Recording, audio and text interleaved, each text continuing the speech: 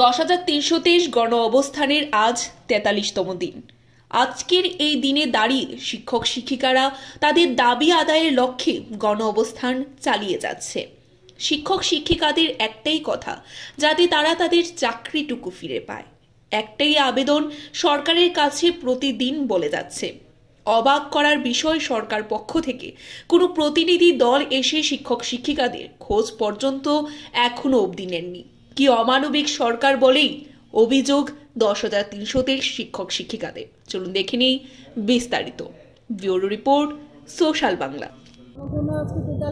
দিন চলছে। প্রথম দিন থেকে আমরা যে একই কথা রোজ দিন বলে আসছি আপনাদের মাধ্যমে যে আমরা এই তিনটি আলাদা আলাদা সংগঠন, দশ হাজার তিনশো তেইশ যদিও আমাদের মূল উদ্দেশ্য একটাই যে চাকুরি ফিরে পাবার বিভিন্ন মতামত মত আছে আমাদের মধ্যে, কিন্তু আমরা সবাই কিন্তু একটা উদ্দেশ্য নিয়ে সবাই এক হয়েছি এবং তারই ফলশ্রুতি হিসাবে আমাদের এই জয়েন্ট মুভমেন্ট কমিটি এবং আমরা একসঙ্গে হয়েছি। এবং প্রথম দিন থেকেই আমরা কিন্তু দুটো দাবি নিয়ে এই মঞ্চ তৈরি হয়েছে। দুটো দাবির মধ্যে প্রথমটা যেটা, আমরা যে দশ হাজার তিনশো তেইশেরই একটা করে চাকুরি, যেটা আমরা সবাই সরকারি চাকুরিতে ছিলাম এবং সেই চাকুরির বিনিময়ে আমরা একটা করে চাকুরিই চাই। আর ইতোমধ্যে আমাদের মধ্যে যারা প্রয়াত হয়েছেন, যে শিক্ষকরা বা শিক্ষিকারা আমাদের মধ্যে প্রয়াত হয়েছে ওদের পরিবারে একটি করে চাকরি এই বিষয়টা নিয়েই কিন্তু আমরা এতদিন ধরে মানে এই কথাটাই বলে আসছি এবং আমরা আশা করিনি, আজকে তেতাল্লিশ দিন, সেটা কম দিন নয়। মানে আমাদের রাজ্যের যিনি প্রধান, যিনি আমাদের ত্রিপুরা রাজ্যের ভাগ্য নির্ধারিত করার যিনি কর্তা রয়েছেন উনি আজকে অব্দি আমাদের সঙ্গে কথা বললেননি কিংবা কোনো প্রতিনিধি দল বা কেউ আমাদের সঙ্গে আজকে অব্দি এসে কথা জিজ্ঞাসা করেননি যে কে- কি বলতে চাইছে আমরা, কি চাইছি আমরা? ওনারা নিশ্চয়ই আপনাদের মাধ্যমে শুনছেন। কারণ ওনারা যখন মানে এসছিলেন নূতন সরকার প্রতিষ্ঠা হয়েছে রাজ্যে ওনারা তো প্রতিশ্রুতি দিয়েছিলেন এবং সেটা শুধু মৌখিক প্রতিশ্রুতি নয়, এটা লিখিত প্রতিশ্রুতি ছিল যে দশ হাজার তিনশো তেইশে একটা স্থায়ী সমাধান ওনারা করবেন, প্রয়োজনে আইন সংশোধন করবেন। কিন্তু ওনারা কথা যা বলেছিলেন, আজকে প্রায় তিন বছর পূর্ণ হতে চলছে ওনাদের, কিন্তু আজকে অবধি আমরা ওনাদের কথার যেরকম প্রতিশ্রুতি দিয়েছিলেন, তার কিছুই আমরা দেখতে পাইনি।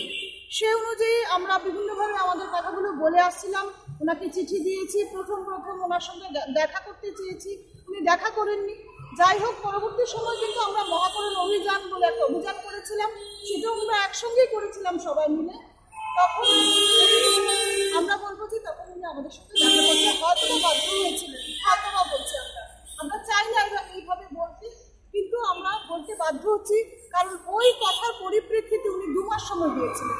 সেই দু মাস অতিক্রান্ত হয়ে গেছে ওনার ওনার তরফ থেকে কোনো রকমের কথা নেই সেই দু মাস অতিক্রান্ত হওয়ার পর কিন্তু আমাদের এই জয়েন্ট মুভমেন্ট কমিটি তৈরি এবং আমাদের এই সিটি সেন্টারে মানে আগরতলার যে আপনাদের কথা অনুযায়ী যে মডেল ত্রিপুরা করেছেন সেই ত্রিপুরার যে স্মার্ট সিটি সেই স্মার্ট সিটির মধ্যে আমরা তেতাল্লিশ দিন ধরে বসে একটা কথাই বলছি কিন্তু এরই মধ্যে প্রায় প্রতিদিন আমাদের মধ্যে হয়তো শিক্ষক পরিবারের নিজের শিক্ষক অথবা শিক্ষক পরিবারের কেউ একজন না একজন আমাদের মধ্যে প্রয়াত হচ্ছে এবং সেই সংখ্যা বেড়ে বেড়ে শুধু শিক্ষকই আমাদের মধ্যে দাঁড়িয়েছেন শিক্ষক, শিক্ষিকা মিলে আমাদের মধ্যে প্রয়াত হয়েছেন বিরাশি জন শিক্ষক। সেটা ত্রিপুরা রাজ্যের ক্ষেত্রে আমরা তো বলব যা অনেক বড়। আমরা জানি না রাজ্য প্রধান যারা রয়েছেন, তারা বুঝতে পারছেন কিনা। একটা ছোট্ট ত্রিপুরা রাজ্য, পার্বতী রাজ্য, পিছিয়ে পড়ে একটা রাজ্য নর্থ ইস্টের মধ্যে ত্রিপুরা, যেটা যার মধ্যে দশ হাজার তিনশো তেইশ একটা বড় সংখ্যা। সেই সংখ্যার ব্যাপারে ওনারা লিখিত প্রতিশ্রুতি দিয়ে আজকে অব্দি এটা নিয়ে কোনো মুখ খুলছেন না। কোনো কোনো সময় ওনারা বলছেন যে আবার ইন্টারভিউ ফেস করতে হবে। এটা ওনাদের নিজেদের কথাই ওনারা নিজেরা খেলাপ করছেন। ওনারাই বলেছেন যে মানে আমাদের এটা স্থায়ী সমাধান করবেন। আর প্রথম প্রথম ওনারা আগে বলেছিলেন যে ভোটারদের সঙ্গে আমাদের কমপ্লেন করেছিলেন। আগে তো আপনারা এই কথা বলেন আপনারা যখন প্রতিশ্রুতির কথা বলেছিলেন, তখন আমাদের সঙ্গে তো দশ হাজার তিনশো তেইশের সঙ্গে বেকারদের কথা ছিল না। আপনারা তো বলেছিলেন যে স্থায়ী সমাধান আপনারা করবেন কোর্টের বিষয়টা ছিল, মাননীয় সুপ্রিম কোর্টের বিষয়টা কিন্তু তখনও ছিল। ওনারা জেনে বুঝে কিন্তু বলেছিলেন যে প্রয়োজনে আইন সংশোধন ওনারা করবেন। তাহলে ওনারা জেনে বুঝে প্রতিশ্রুতি দিয়েছেন আমাদের তার পরবর্তী সময় আমরা ধাপে ধাপে দেখেছি অনেক রকম কথা বলেছেন রাজ্যের বিভিন্ন যারা প্রধান রয়েছেন, বিভিন্ন বিভাগে যারা মানে মন্ত্রিত্ব করছেন, ওনারা এই ধরনের কথা অযোগ্য বলেছেন, কোনো কোনো সময় বলেছেন যে মানে এই কোনো রাজনৈতিক মঞ্চ রং লাগানোর চেষ্টা করেছেন। আমরা সবসময় বলে আসছি এইটা কোনো রাজনৈতিক মঞ্চ নয়। আমাদের মত আলাদা হতে পারে। আমরা ব্যক্তিগতভাবে যেহেতু ভোটিং সিস্টেম আছে, আমরা ভোট দেই, এটা আমাদের গণতান্ত্রিক অধিকার। আমার মত আলাদা হতেই পারে। আমি যে কোনো মতের মানুষ হতেই পারি, কিন্তু এইটা উদ্দেশ্য কিন্তু আমাদের একটাই, যেটা আমাদের চাকুরির সমাধান নিয়ে আমরা সবাই একসঙ্গে রয়েছে এবং আমাদের এই মঞ্চ থেকে কিন্তু কোনোদিন কেউ আমরা বলিনি যে আমরা অন্য কোনো রাজনৈতিক রং লাগানোর মতো কোনো বিষয়ে আমরা বলিনি কোনোদিন। শুধু একটাই কথা বলে আসছি, আমাদের একটা করে স্থায়ী সমাধান করুন। আমরা বলব, আপনারা দেখতে পাচ্ছেন কিনা জানি না। এরই মধ্যে আমাদের মানে যারা প্রয়াত হয়েছেন, তার মধ্যে কেউ কেউ আত্মহত্যা করেছেন। এবং বিশেষ করে বলব, আমি কিছুদিন আগে যিনি রুমি দেববর্মা, আমাদের খোয়ায় রামপুরা বিদ্যালয়ে উনি শিক্ষকতা করেছিল উনি গোল্ড মেডেলিস্ট এটা শুধু ত্রিপুরা কেন এটা নর্থ ইস্টের মতো স্টেটের একটা গর্ব। উনি সুইসাইড করতে বাধ্য হয়েছেন তেমন একটা পরিস্থিতি হলে। এটা অলরেডি ত্রিপুরার ইতিহাসে একটা কালো অধ্যায়। কালো অধ্যায় হয়ে গেছে এবং সেই অভাব আপনারা কীভাবে পূরণ করবেন? সেই যা ক্ষতি হয়ে গেছে, সেটা কীভাবে পূরণ করবেন? সেটা আমরা কিন্তু জানি না। আমরা বলব, আমরা দেখেছি বিভিন্ন সময় যে যখন ব্রিটিশ আমল ছিল, ব্রিটিশ পিরিয়ডে আমরা শুনেছি যে কথা প্রসঙ্গে বলতে গিয়ে বলতে হয়, ভগৎ সিং নাকি একবার মানে কোর্ট চত্বরে বোমা ফাটিয়েছিলেন। তখন যখন ওনাকে ধরে জিজ্ঞাসা করা হলো যে আপনি কোর্ট চত্বরে কেন এমনটা করলেন, তখন ভগৎ সিং কিন্তু বলেছিলেন যে যখন কোনো বধির মানে আইন বা বধির সরকার বা বধির কিছু থাকে, ওনাদের কর্ণগোহরে যখন কথা যায় না সেই জন্য আমি এই কাজটা করতে বাধ্য হয়েছি। তা আমরা বলব, আমরা এখনও গণতান্ত্রিক পদ্ধতিতে কিন্তু আমাদের কথাগুলো বলছি। আমরা এখনও গান্ধীজির পথে কিন্তু আমাদের কথাগুলো বলে আসছে। আমাদেরকে বাধ্য করবেন না, আমরা ভগৎ সিং এর মতো এমন কোনো পদ্ধতি অ্যাপ্লাই করি যেটা দিয়ে আপনাদের কথাগুলো, আমাদের কথাগুলো আপনাদের কানে পৌঁছতে পারে। সেটা আমরা চাইছি না কোনোভাবে, যে কারণে আজকে তেতাল্লিশ দিন ধরে আমরা কিন্তু রাস্তায় বসে বসে আমাদের কথাগুলো বলছি। কিন্তু এইভাবে তো চলতে পারে না। একটা মানে নির্বাচিত সরকার রয়েছে, আপনারাই তো আমাদের সমস্যার সমাধান করবেন। আমরা কোথায় যাব? যিনি রাজ্য প্রধান, যিনি দায়িত্ব নিয়েছেন আমাদের যিনি আমাদের অভিভাবক যিনি আমাদের ভাগ্য নির্ধারণ করার কথা ছিল আপনি ভাগ্য নির্ধারণ কর- করবেন বলে এসছেন তো আপনার কাছেই তো আমরা তো চাইব আপনার কাছেই তো বলব আমরা সেটা এবার আপনি কীভাবে করবেন আমরা কেন বলতে যাব আমা- আপ- আপনি কীভাবে সমস্যার সমাধান করবেন আপনি আইন দিয়ে করুন যেভাবে করুন সেটা আপনার ব্যাপার কিন্তু আমাদের স্থায়ী সমাধান লাগবে আমরা স্থায়ী সমাধান ছাড়া ফিরবো না আমরা চাইব না ভগৎ সিং এর মতো এমন কোনো যদি এমন আধুনিক কোনো হিয়ারিং এইডস থাকে এমন কোনো আধুনিক কানে শোনার মতো যন্ত্র থাকে জানি না এমন কিছু রয়েছে কিনা আমরা চাইব না এটা অ্যাপ্লাই করতে আমরা গণতান্ত্রিক পদ্ধতিতে এখনও বলছি আমাদের সমস্যার সমাধান না হলে আমরা কিন্তু বাধ্য হব অন্য কোনো কথা বলতে সেটাই বলব তবে আগামীকালকের মধ্যে আমাদের এমন কোনো সিদ্ধান্ত নেই আমাদের আগামী দিনের যদি অন্য কোনো কর্মসূচি নেই অবশ্যই জেএমসির মাধ্যমে আপনাদের মাধ্যমে আমরা এই কথাগুলো সবার কাছে বলব। আহ, আপাতত আমাদের যেভাবে আমরা কথাগুলো বলছি সেভাবে আমাদের আন্দোলন কর্মসূচি আমরা চালিয়ে যাব। আজকে মুখ্যমন্ত্রীর কাছে যাওয়ার কথা ছিল আমাদের জিএনসি সিদ্ধান্ত ছিল। সেটা আজকে একটা রাজ্যের মধ্যে একটা রাজনৈতিক দল বন দেখেছে তার জন্য আমাদের রাজ্যের সমস্ত শিক্ষক শিক্ষিকা এই গণ অবস্থানে আসতে পারেনি। তার জন্য আমরা আপাতত আজকের দিনটা আমরা স্থগিত রাখা হয়েছে এবং আমরা পরবর্তী সময় আমাদের জিএমসি বসে সিদ্ধান্ত নিয়ে আমরা কোথায় যাব কি করব সম্পূর্ণ আমরা জিএমসি আলোচনার মাধ্যমে সেটা বলা হবে। এখন অবধি আপনারা মানে কোনো কি কোনো আশ্বাসন পেয়েছেন রাজ্য সরকারের কাছ থেকে? রাজ্য সরকার থেকে আমরা এখনও কোনো আশ্বাস মিলেনি। আমরা আশায় গড় বেড়েছি যতক্ষণ পর্যন্ত আমাদের আশা পূর্ণ হবে না ততক্ষণ পর্যন্ত আমাদের এই যে আশার যে আশার আলো নিয়ে আমরা যে এখানে যে আসেছি আমরা আশার আলো নিয়েই বাড়িতে ফিরি কি বলবেন শিক্ষা সচিবের উদ্দেশ্যে রাজ্য সরকারের রাজ্য সরকারের কাছে এটাই অনুরোধ করব আপনারা এত সুযোগ থাকার পরও আপনারা আমাদেরকে যেভাবে সুযোগ দিচ্ছে না আমরা বলব, আপনাদের কাছে যথেষ্ট সুযোগ আছে, সুবিধা আছে। ওই সুযোগগুলোকে কাজে লাগিয়ে এই রাজ্যের মানুষকে সাহায্য করা, এই দশ হাজার তিনশো তেইশ পরিবারকে সহযোগিতা করা, এই রাজ্যের শিক্ষা ব্যবস্থাকে আরও উন্নত করার ক্ষেত্রে আপনারা এগিয়ে আসবেন, এই আশা আমরা রাখি। দিন যাবৎ এ রাজ্যের শিক্ষক কর্মচারীরা, এ রাজ্যের শিক্ষক, শিক্ষিকা বাচ্চাদের নিয়ে, শিশুদের নিয়ে ড্রেনের পাশে কনকনে ঠান্ডার মধ্যে রাত্রি যাপন করছেন। বারবার চিৎকার করে বলার চেষ্টা করছি, আমাদের অধিকারটা আমাদের ফিরিয়ে দিন। আমরা আমাদের ন্যায্য অধিকারের জন্য রাস্তায় পড়ে আছি। আমাদের অধিকারটা হচ্ছে আমাদের স্থায়ী চাকরির সমাধান। আমাদের স্থায়ী সমাধান। এই বিষয়টাই বারবার সরকারকে বোঝানোর চেষ্টা করছি। সেই দিনটাও আমরা ভুলে যাইনি। যে দিনকার এই চারশো বাষট্টি জনের বিরুদ্ধে মামলা করে আজকে এই রাস্তায় বসানোর কারিগর যারা ছিলেন আজকে যারা নিজেদের বিধায়ক বলে পরিচয় দেন, বিভিন্ন দলের, কাল পরশু ছিলেন এক দলে, আজকে আছেন আরেক দলে, এই এই চারশো বাষট্টি জনের কারিগর যারা, তারাও আজকে এই মায়া কান্না কাঁদছে আমাদের জন্য। কিন্তু আমরা বসে আছি রাস্তার মধ্যে, আর আমাদের দেখার জন্য, আমাদের কথাগুলো শোনার জন্য সরকারের কাছে সময় নেই। এই হচ্ছে আমাদের আজকে দুর্দশা, আর এই হচ্ছে আমাদের পরিস্থিতি। কি বলব?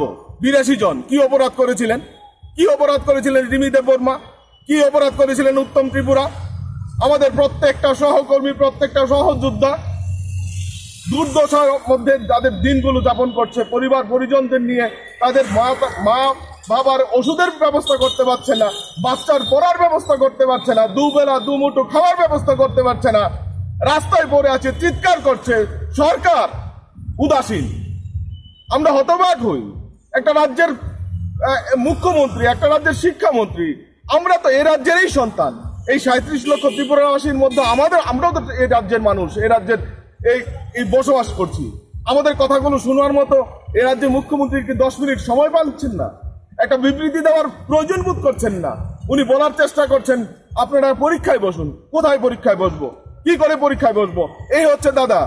আজকে পঁয়তাল্লিশ বছর ক্রস করে গেছেন। আমাদের মধ্যে অনেক শিক্ষক আছে, পঞ্চাশ ক্রস করে গেছেন। কি করবেন? পরীক্ষার ফর্ম ফিল করতে যাচ্ছেন। আপনারা শুনেছেন, আমাদের শিক্ষকরা বক্তব্যের মধ্যে বিভিন্ন সময় বলার চেষ্টা করেছেন যে পঞ্চাশ পেরিয়ে গেছে, পঁয়তাল্লিশ পেরিয়ে গেছে ফর্মটা ফিল করতে যাচ্ছে ফর্ম ফিল নিচ্ছে না কম্পিউটার ফর্ম নিচ্ছে না। আর রাজ্যের মুখ্যমন্ত্রী বলার চেষ্টা করছেন, আমরা পরীক্ষায় বসবো। কেন পরীক্ষায় বসবো? এটা বাদিয়ে দিলাম। ফর্মটাই তো নিচ্ছে না। আর কোথায় পরীক্ষায় বসার কথা বলছেন আপনি? একজন রাজ্যের মুখ্যমন্ত্রী, একজন রাজ্যের শিক্ষামন্ত্রী। কথার কোনো ভ্যালুই নেই ওদের। আমি তো বলব, ওদের কথার কোনো ভ্যালু নেই।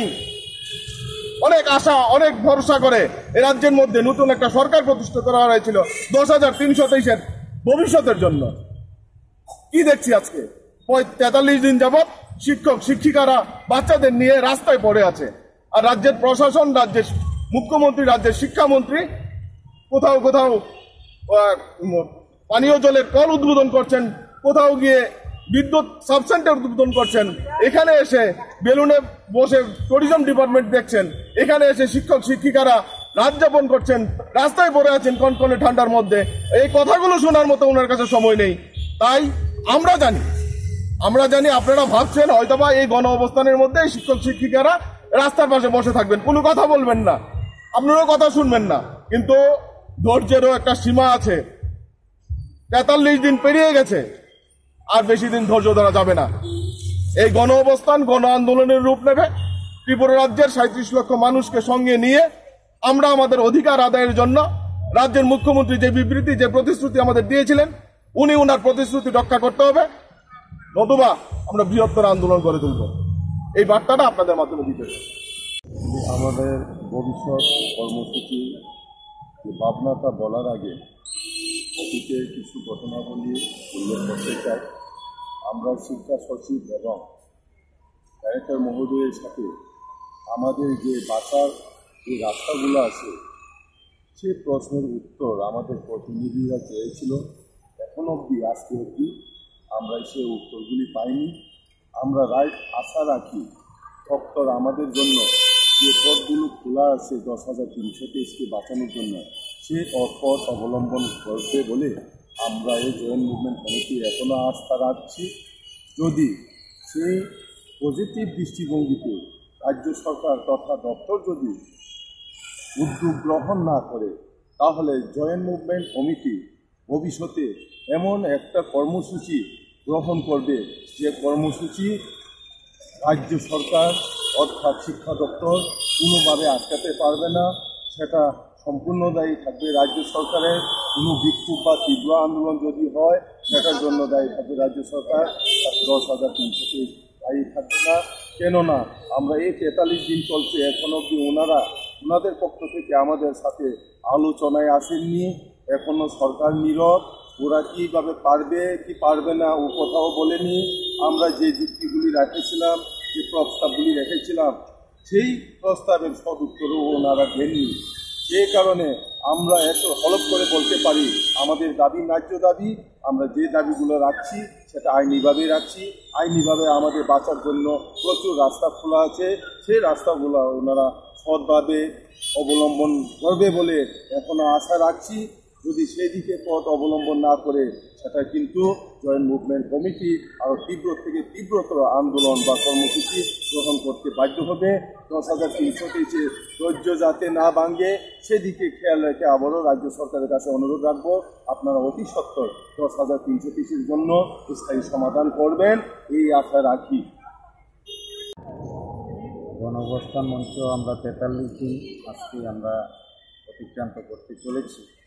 এখন পর্যন্ত রাজ্য সরকার যদিও আমাদের দাবি মতো এখনও সারা দেননি, তবে আমরা অত্যন্ত আশাবাদী রাজ্য সরকার অবিলম্বে আমাদের দশ হাজার তিনশো তেইশের স্থায়ী সমাধান এবং আমাদের শিক্ষকতার চাকরি ফিরিয়ে দেওয়ার জন্য অবশ্যই সিদ্ধান্ত নেবেন। কারণ আমরা দেখেছি ইতিমধ্যে যে ভুলটা করেছিল শিক্ষা দপ্তর তৎকালীন সময়, সেটা এখন প্রকাশ্যে এসে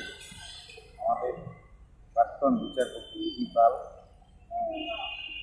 সংবাদ মাধ্যমের দিয়েই আমাদেরকে অন্তত পূর্বতন হাইকোর্টের জাজমেন্টটার ব্যাখ্যা করে কীভাবে দশ হাজার তিনশো তেইশকে বাঁচানো যেতে তার জন্য একটা সুস্থ রূপরেখা আমাদের এবং রাজ্য সরকার সরকার এবং জনগণের সামনে তুলে ধরেছে।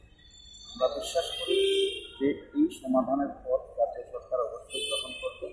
আমরা এর জন্য আমরা আমাদের গণ অবস্থান চালিয়ে যাচ্ছি আমরা রাজ্যের মাননীয় মুখ্যমন্ত্রীকে এ বিষয়ে আশ্বস্ত করতে চাই দশ হাজার তিনশো তেইশ শিক্ষক শিক্ষিকা বিগত তেতাল্লিশ জন দিন যাবে এই শীতে অপেক্ষা করে কনকনে ঠান্ডায় তারপরেও আমরা আমাদের দাবিকে নিয়ে অনর আহ, এখানে অবস্থান। আপনি অবশ্যই মানবিক দৃষ্টিভঙ্গি নিয়ে দশ হাজার তিনশো তেইশ শিক্ষক শিক্ষিকাদের আমাদের যে দাবি এই দাবিটাকে সম্পূর্ণভাবে সমাধান করার জন্য ভূমিকা নেবেন। আমরা বিশ্বাস করি এই রাজ্যের যে জনগণ আমাদের পাশে আসে এবং এই জনগণের দাবিও এটা, বর্তমানে শিক্ষা ব্যবস্থার সার্বিক উন্নতি এবং পরিকাঠামোকে বাঁচিয়ে রাখার জন্য দশ হাজার তিনশো তেইশ শিক্ষক শিক্ষিকার বিকল্প আর নেই। এটা রাজ্যের জনগণও জানে, সরকারও জানে শিক্ষা দপ্তরও জানে। শিক্ষা দপ্তর পূর্বতন ভুলকে সংশোধন করার জন্য ভূমিকা নেই এবং অবিলম্বে আমরা আমাদের ধৈর্যের বাদ অলরেডি ভেঙে যাওয়ার পথে, কারণ দীর্ঘ তেতাল্লিশ দিন আমরা এখানে অবস্থান এটা দীর্ঘদিন চলতে পারে এটা ত্রিপুরা রাজ্যের ইতিহাসে একটা আন্দোলনের ক্ষেত্রে, একটা মাইলস্টোন তেতাল্লিশ দিন শিক্ষক শিক্ষিকারা, আমার মনে হয় না রাজ্যের ইতিহাসে এই ধরনের আন্দোলন এবং কর্মসূচি কোনো কর্মচারী সংগঠন, কোনো রাজনৈতিক সংগঠন নিতে পেরেছে বলে আমাদের মনে হয় না। আমরা একমাত্র আমাদের দাবিটাকে সম্পূর্ণভাবে আস্থা এবং বিশ্বাসের সহিত অনর থেকে আমরা আহ্বান জানাচ্ছি। আমাদের এই জন অবস্থান মঞ্চের পক্ষ থেকে যে সরকার আপনি আপনাদের দেওয়া যেটা ভীষণ ডকুমেন্টে যে সরকার এই রাজ্যে প্রতিষ্ঠিত হলে আইন মেনে দশ হাজার তিনশো শিক্ষক শিক্ষিকার দাবি এটা পূরণ করা হবে। এটা অবশ্যই যাতে পূরণ করা হয়। এই প্রতিশ্রুতি সরকারের কাছে আমরা বারবার রাখছি এবং আমরা বিশ্বাস করি রাজ্যের মাননীয় মুখ্যমন্ত্রী এই আগামী দুই চার দিনের মধ্যেই আমাদের সমাধানের একটা রাস্তা বের করবে কিন্তু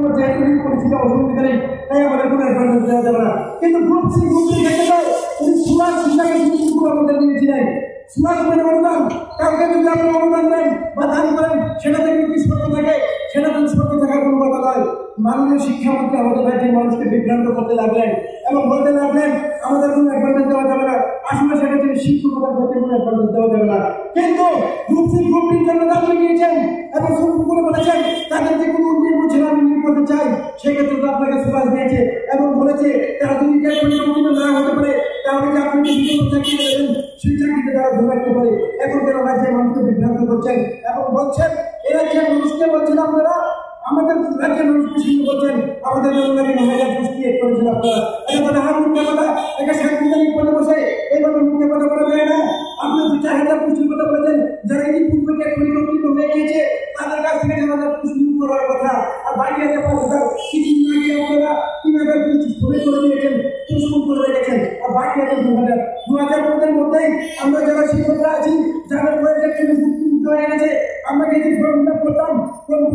ফর্মটা অ্যাকসেপ্ট করে না। অর্থাৎ যাদের বয়স একচল্লিশ উত্তর নিয়েছে তার ফর্মগুলো তার ফর্ম অ্যাকসেপ্ট করে না। অর্থাৎ আমার বয়স হলো পঞ্চাশ তো আমি কি করে? আমি করব আমি আমি আমি সেই পরীক্ষা দেবো। আমি তো পরীক্ষা দিতে পারব না। কারণ ফর্মগুলো আমার আমি তো গ্রহণ করছে না।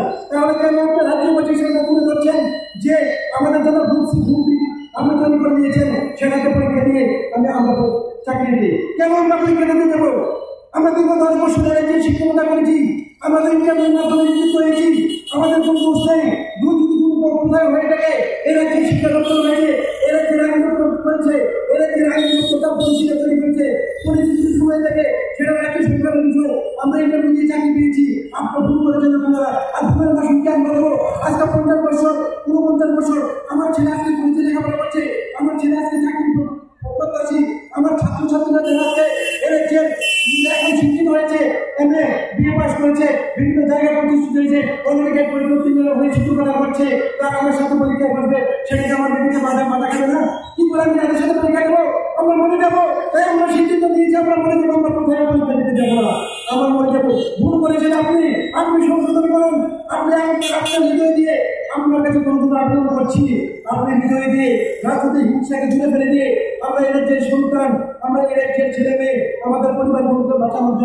জন্য আপনার হৃদয়টাকে আমাদের না।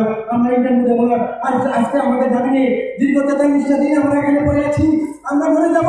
আমরা দাবি যতক্ষণ আমরা এখানে বসো আমাদের এর মধ্যে আমরা ইতিমধ্যে মধ্যে থেকে মারা গেছে। আজকে এই পরিবার পরিবার কিন্তু না। পরিবার মধ্যে আছে আমরা ভগবানের পাশে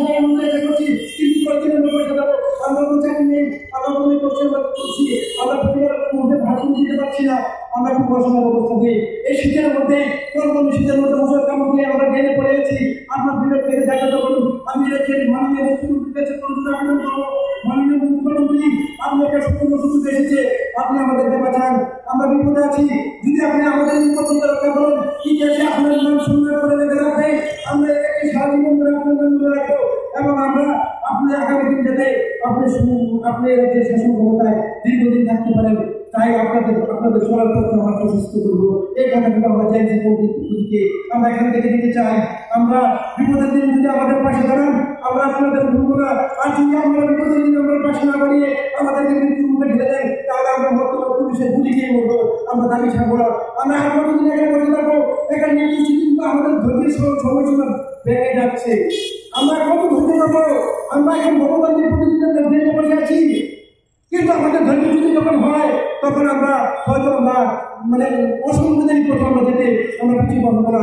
আমরা যদি অসংবিধানিক পথ অবলম্বন করতে গিয়ে যদি পুলিশের গুলি খায় গুলি খেতে আমরা রাজি আছি, আমরা কিন্তু আমাদের অধিকারের অধিকার আদায় থেকে একটু আমরা পিছিয়ে পাবো না। তাই কোনোদিন আবার রাজ্য সরকারের কাছে আবেদন করছি, আমাদেরকে হিংসার দিকে ঢেলে দেবেন না। আমাদেরকে পরিবার দিকে বাসান, রাজনৈতিক দৃষ্টিকোণ থেকে আপনারা কোনো বিচার বিশ্লেষণ করবেন না। আপনারা বারবার আমাদের রাজনৈতিক ভাবে আমাদের এক করার চেষ্টা করেন। এটা ভুলে যান। রাজনীতিকে ভাই গর্ব কেউ নিয়ে আসে না। রাজনীতি তো ব্যক্তিগত দূর আজকে অর্জন করবে কাজ করবে। যে যদি তার সুবিধা হয় সেদিকে যাবে যদি যে আমরা আমরা তো মানুষ, আমরা আমরা কেন আপনাদেরকে সাহায্য করব না? তাই রাজনীতি নিচে ভুলে রেখে আমাদের পরিবারগুলিকে বাঁচানোর জন্য আপনারা এগিয়ে আসবেন। এই আশায় আমার আকাঙ্ক্ষা আমাদের ভিতরে রাখিয়ে চলবে আমি আমার কাছে সরকারকে চাকরি দিচ্ছি। আপনাদের পরিবার বাঁচানোর জন্য এগিয়ে আসবেন। ধন্যবাদ সকলকে।